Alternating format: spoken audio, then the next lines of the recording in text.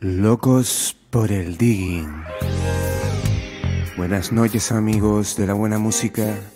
Otro sábado más vamos a introducirnos en este mundo melómano. Como os había prometido, hoy vamos a hacer un especial dedicado al hip hop, por petición popular, claro. Lo vamos a hacer así.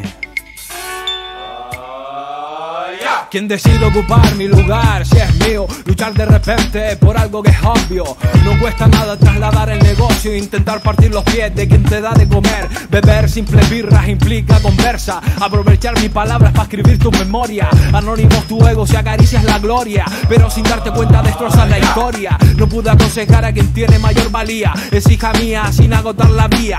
Que conduce a la sencillez de ver todo lo que pretende ser a costa nuestra, men. Mi casa, el refugio, el cuarto puro por tener mejores medios, un espacio pulcro donde creo ser fuerte, no romperme, conservar la unión, la mano siempre pierde.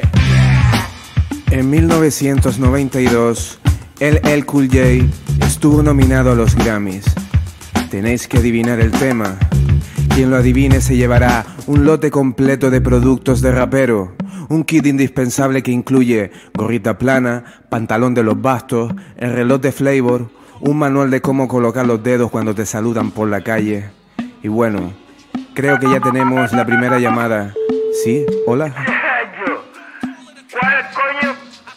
¿Qué co- ¿Cuál es el nombre del tema de Cool J que estuvo nominado en los Grammys del 92 al mejor tema de rap? ¿no? No, me temo que no, gracias. Eres un loco, no tienen dueño, hermano. ni nada, ni nada, Joder. ni de coña. Los tambores de Fumanchu. Mal, mal, mal. Creo. El asfalto tiene dueño. Fuerte, tío, más mierda. Los tambores de Fumanchu, colega. El tema de Cool J se llamaba Mama Say Now You Out o algo así. Bueno, en español, Mamá quiere que te largues.